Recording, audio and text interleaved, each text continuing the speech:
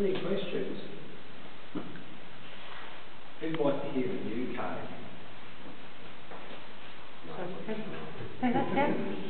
It sounds a little bit spooky, so if you're going to feel uncomfortable with anything sort of hollow underneath us, stand over here is the best idea.